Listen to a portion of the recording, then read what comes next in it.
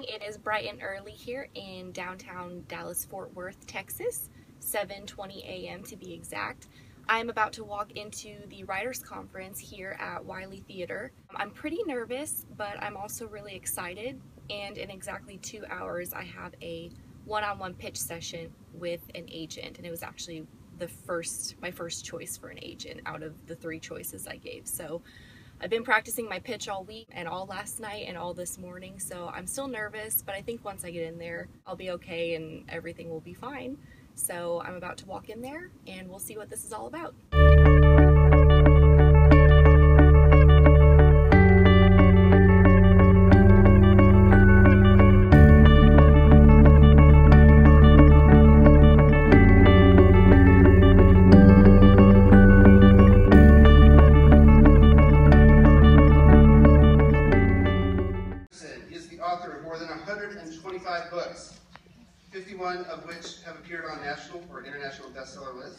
Lists. He has 54, sorry.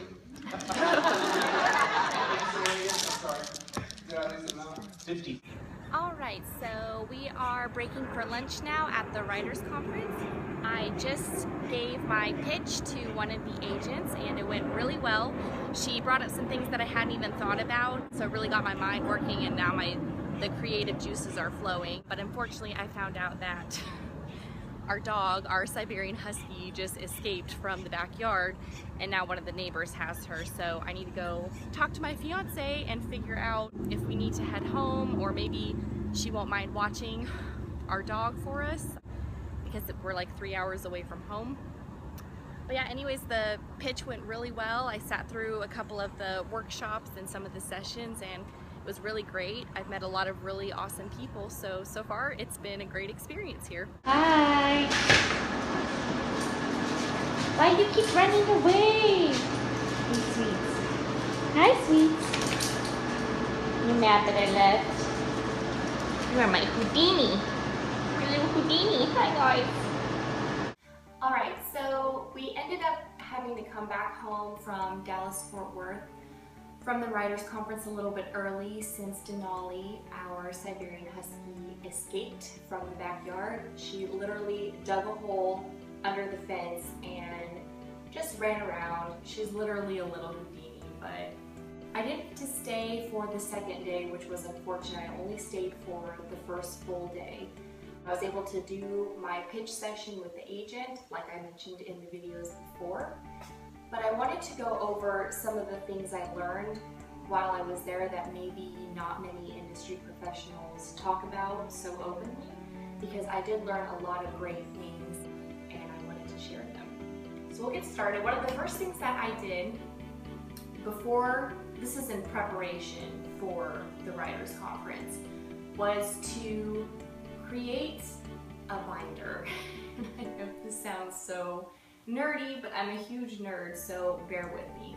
If you're a writer, most likely you love pens and paper and staying organized, or who knows, maybe you hate being organized. And I found that if I can't, I got a small three ring binder like this. I was going to bring a spiral bound notebook, and then I realized that my notes would just be jumbled all over the place, and I'm much better when I have tabs and dividers and where I can actually move what I've written into certain categories. So I don't have a fancy cover for this just yet. I need to make one. I'll probably do some sort of collage or writer's inspiration, something to that extent. But anyways, this is the binder that I have. And in here, I have a bunch of loose leaf paper. And the reason I did this was so that I could unclip it and move it into, you'll see these lovely tabs over here divider tabs, you know, just like when you were in middle school. But basically what this allowed me to do was I could go to my workshops, write my notes like I did right here, and then I can move them into the different tabs depending on how I want to break these up.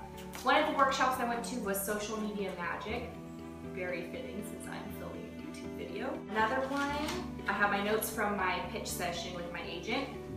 Another one was secrets of success, which you saw a little bit of that in the video, well the videos before, there was the author success panel where some published authors actually shared their real life experiences and their success stories and gave advice. So I wrote down some of the key things I gathered from that. A couple of other workshops in here, but I won't go through all of them because if you want to find out more, then you should attend a writer's conference near you. So having a binder was absolutely crucial. Also, if I got any documents while I was there or had, you know, my registration information, the schedule for the day, this allowed me to keep everything in one cohesive area and I was able to just flip through and find what I needed. So I highly recommend before going to any sort of workshop, writer's conference, any other writing event to make a binder. That way you have all your Another thing to do before you attend a writer's conference or workshop is to make business cards. And I know that might sound silly, but it's actually not. If you're approached by an agent or any other industry professional, an editor, a publisher, and you don't have a business card, it can look pretty unprofessional. Unfortunately, I didn't know this before I went into this writer's conference, but I did meet someone who has an awesome business card and she gave me one and I'm definitely going to mirror it. But this is what it looks like. But anyway, she has her photo on one side and then it just has her first and last name. So here it says Jennifer Locke and underneath that it says author. And then she has her contact information. Below that, her phone number, her email address, and then also her Twitter username. So I thought this was really great. I would like to have a professional photo taken for this or just have one where it's not me taking a selfie. So I'm going to order these very soon, as soon as I get the picture that I want. Now we can talk about what happens when you're actually at a conference. When you're at a conference, it's very important to present yourself in a very professional manner, but don't shy away from your personality. If you're loud and giggly and bubbly, be that same person at the writers conference. You'll find like-minded people, people who like that sort of behavior will be drawn to you. So if you're not yourself, you might attract people that you normally wouldn't really talk to or maybe even get along with. So just make sure to be yourself when you're there. Be open and honest and if someone asks you what you're writing about, tell them. Don't say, oh, it's I'm working on something and it's gonna be so great. A lot of the time when you go to a conference, you're there to pitch your ideas to agents or to other people for that matter. So if someone asks you what your book is about, you should probably tell them. It's a perfect opportunity to practice your pitch, first of all. It's a great way also to test it out on someone if you haven't done that before, which is another thing I highly recommend practicing your pitch ahead of time and doing it verbally out loud in front of somebody. But if you haven't done that, it's a great way to get that first initial impression about your pitch. If they have questions, like a lot of questions, then maybe you realize you need to go back and reword some parts of your pitch. And what a pitch is, is basically a 30 to 90 second elevator speech. It's a quick, very short synopsis of what your book is about. And your pitch includes your hook and then enough to keep the person listening wanting more. So you have something that hooks them, you kind of give some information about the characters or the plot or whatnot, and then you kind of leave it where it's like, oh, this is open and what if this doesn't happen? So it makes them interested and they want to learn more about it. You never tell them the ending of your book in your pitch. Not a good idea because then you just totally gave away the whole thing. That's what a synopsis is for. But when you're doing a pitch, you're trying to draw somebody in. So make sure that you find a hook or have a hook so you can reel them in. Give them enough information about the plot so they get the feel of your story. And then leave them with something where they're wanting more. Also, while you're at a conference, it's likely that you will get business cards from agents or publishers or even other writers or authors like yourself. When you get a business card, sometimes it's a good idea to write on the back of it with an action item. Like if you want to follow up on something or go check that person's website or anything like that, it's a good idea because you meet so many people and they their names and faces can all get kind of jumbled in your head. So if you have their business card, and you're able to write an action item on the back of it. That can really help you when you go home and actually start organizing all the things that you have to do after the conference. When you're at a writer's conference, try to attend as many workshops and sessions as you possibly can. These people have taken time out of their day to help aspiring writers to better themselves and to give advice. So take advantage of this. I mean, writers conferences, they are a little bit pricey. So it's a good idea to really take advantage of all the knowledge that these people have. They've been in the industry for a while. They have a lot of things that they can tell you and things to say. So it's a good idea to actually attend these workshops and sessions and take notes. That's what your handy dandy notebook is for. Take notes so that you can go back and look at them later on when you finally become a published author.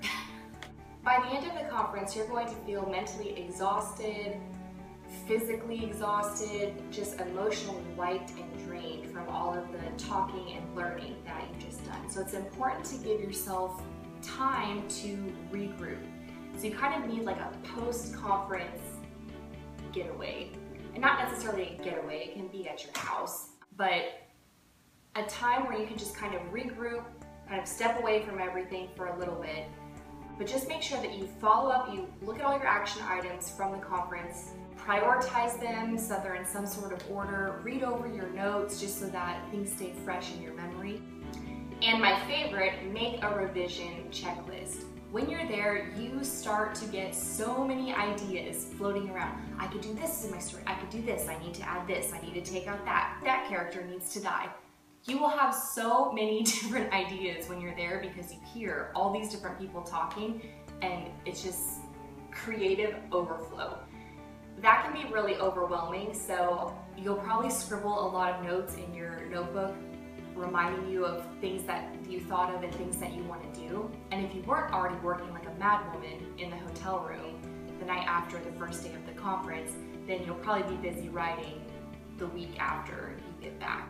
Write down a list of all these elements, everything that you want to add to your story, and that way you won't forget them. After you've prioritized everything that you want to add to your story or remove from your story, it's important to make a revision plan. And I know that might sound kind of silly, but you need to use your post-conference energy to sit down and figure out where in your writing schedule you can place these revisions, how much time it's going to take to do them, where you can fit it into your day. You don't want to lose that momentum and that drive after the conference, so it's important to make a revision plan. If you had a pitch session with an agent or got some really great advice from another industry professional, after the conference is a great time to send a follow-up or a thank you note, just thanking them for their time. Last but not least, if an agent requested your manuscript for you to submit it, make sure you do it. But don't just go home and send it off right away. Really revise it. Make sure it's absolutely perfect before you send it to that agent. That's all that I have for today. That pretty much wraps up the video for my first experience at a writer's conference. I'm hoping to attend many more in the future. If you like this video, please go ahead and give it a thumbs up. And if you have any questions or comments, please leave them down below. I post new videos every Tuesday, so I will see you guys next week. Bye!